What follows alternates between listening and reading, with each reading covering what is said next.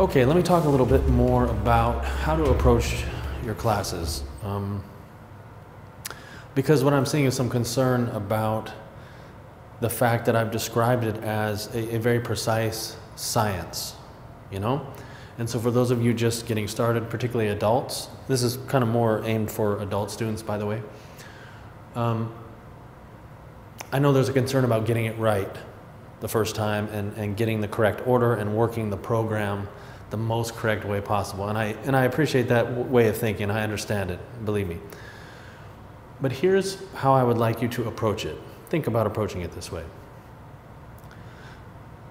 You have to understand that our bodies are very malleable, you know, e even at some age. They're very, very malleable. I mean, if you just look at this photo uh, before and after of Svetlana, so this is three years of training, you know, and so she just looks like a different person. I've gotten that comment. People, some people don't even believe it's the same person. Okay, but let me explain how she got there, how we got there. This malleability is a question of solving the puzzle of your own body. Okay? And our bodies are just not that much different from one another. There's differences here and there, but the, the beauty of placement is that it pretty much works equally with everyone.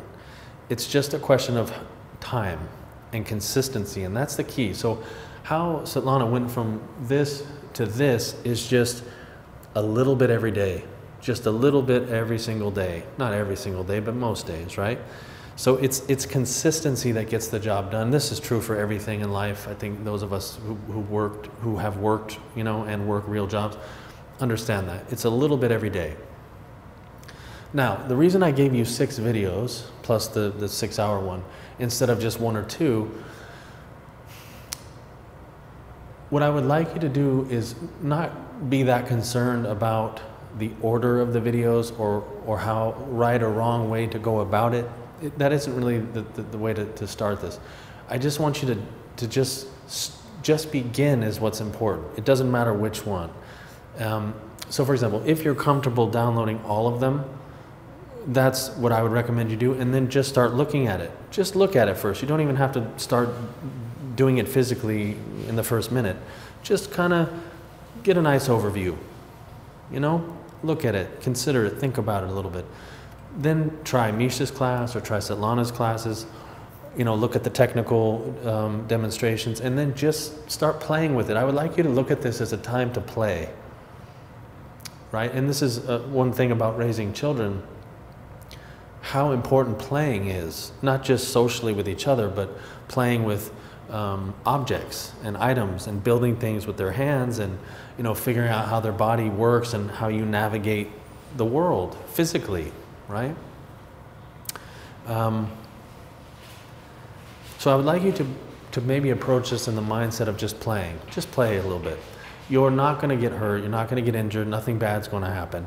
And by that, I mean, give it a few weeks, give it a month, and just kind of work with it. And send me your questions, and then we'll kind of get the dialogue going. And then the, there is a very specific program in place already, right? For teachers, for students, for professional dancers, wherever you are at in, in, in the world of ballet, there is a specific program there's a qualification to it so that you, you get a, um, so we're used to talking about this in terms of like teacher certification. I just don't like the certification word. I like qualification. You're a qualified professional, qualified practitioner, qualified scholar. That's, that's the, the top level, right? So we have, you have practitioner and professional, professional practitioner and scholar. So these are the levels. So you're going to get all of that okay, for sure. So uh, those of you that, let's say you want to open up your own school, maybe you want to open up a, a Ballet Conrad branded school or something, that, that's all in the works, that's all there. But this very first step, I would just like you to, to play with the information without, um, for a moment, focusing on the end result, right? Now, I do want to give you some advice about how to best present your questions to me because I'm getting a lot of them now and I, and I want to do my best to answer them. So if you have a specific question, you know, like, because what's going to happen is as you begin to do this, you're going to feel sensations in your body that you've not felt before, ever, right? And I can best describe them as it's kind of like subtle growing pains. I don't know if you remember what that felt like, but it's so it's not pain like an injury, but it's definitely a sensation that's uncomfortable at times, you know, and you're going to feel it in your hips and your knees and things. But this doesn't mean that it's leading to an injury or anything like that. It's just turnout is a serious it's a, turnout is a serious endeavor. It's, it's, a, it's a whole body redesign, starting with the hips. The hips are, is a complex uh, instrument, let's say, or machinery. It's very, very complex. If you look at sort of a uh, internal, like an MRI view of the hips, there's a lot going on there. A lot of things move, and it affects everything below the hips and above the hips. So you're going to feel some strange things, and it doesn't mean that something's going wrong. But if you are concerned, and it's understandable, and you should always err on the side of caution. Always send me the question. You know, if you feel like well, something's not feeling right, but I need to see it. I must see it in order to give you useful feedback. And I just, I, I do want to explain one thing to you. When I'm analyzing movement, as I will when you send me your stuff, I approach it is a profession, you understand? So I approach it the way a doctor would look at an MRI or something like that. I'm not concerned with, you know, the background, whatever your house, how it looks. We're all doing kitchen ballet right now, you know, bedroom ballet, whatever. You know, we're, we're all doing it in our place where we live. No big deal. I'm not concerned with, with how you appear or, or any of that, you know, what you wear or none of that makes any difference. I'm looking at for the purposes of giving you really useful information, I'm looking at your body as kind of an instrument that we're creating, that we're crafting like a violin, you know. That's how I look at it. So if you can believe me that that's how I'm looking at it and, and try not to, I'm just not judging you, you understand? I'm just not, I just don't have that chip, that judgmental, no.